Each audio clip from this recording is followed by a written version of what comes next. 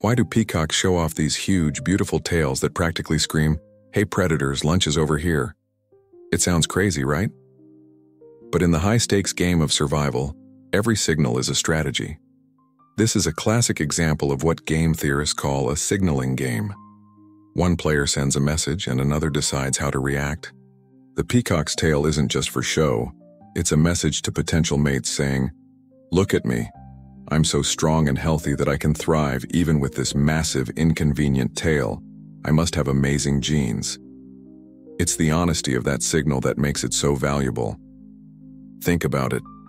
If a weak, sickly peacock could easily fake a magnificent tail, the entire system would fall apart. The signal would be meaningless.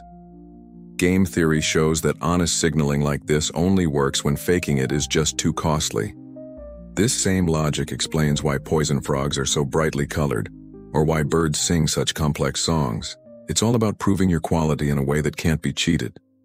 From the animal kingdom to human interactions, every signal is a calculated risk, a gamble for trust.